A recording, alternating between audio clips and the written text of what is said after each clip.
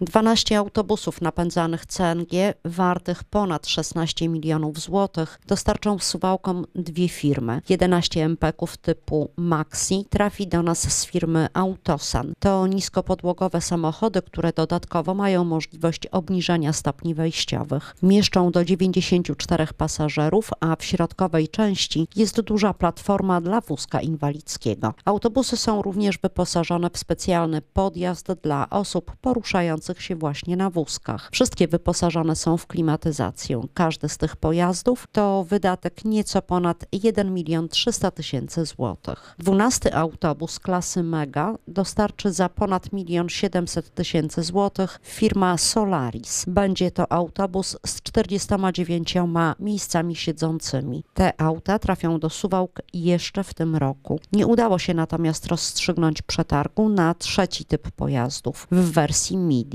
Na ogłoszony przetarg nie zgłosił się żaden oferent, dlatego zostanie on powtórzony. Zakupy finansowane są z projektu o łącznej wartości około 30 milionów złotych, przy czym 26 milionów to wartość dofinansowania ze środków Unii Europejskiej. Prócz nowych samochodów do przewozów pasażerskich do miasta trafią jeszcze tablice dynamicznej informacji pasażerskiej, wdrożony zostanie system roweru miejskiego. Planowane są również przebudowy ulic Daszyńskiego i Leśnej oraz przystosowany do obsługi nowych pojazdów zostanie budynek warsztatowo-diagnostyczny PGK.